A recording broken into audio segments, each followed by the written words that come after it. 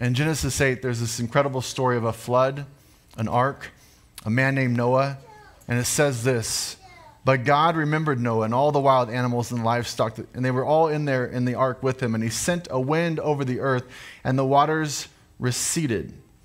Now the springs of the deep and the floodgates of the heavens had been closed, and the rain had stopped falling from the sky.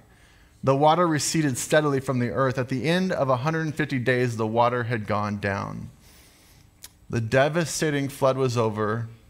God steps in, shows he has control over the wind, the rain, the ocean, the waves, and God reminded them he never left.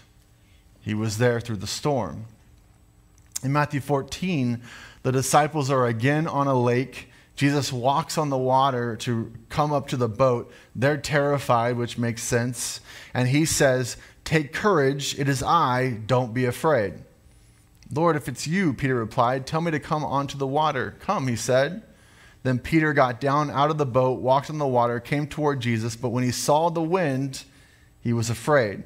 He began to sink. He cried out, Lord, save me. Immediately, Jesus reached out his hand, caught him, and said, You have little faith. He said, Why did you doubt?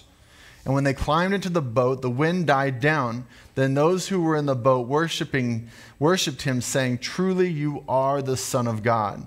Once again, we see Jesus reminding them, I'm still in control.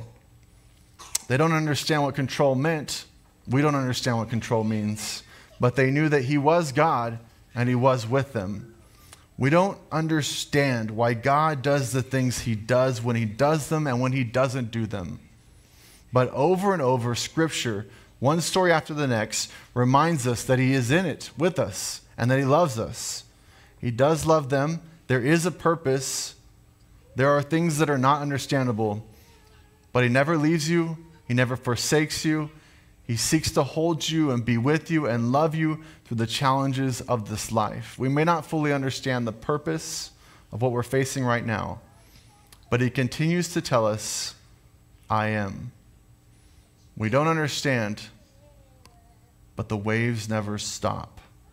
We don't understand, but the wind never stops. We don't understand most things that happen in this world. And God continues to remind us he is still God. He loves you. And even in our rejection of Him, He doesn't stop being there. He says, I am.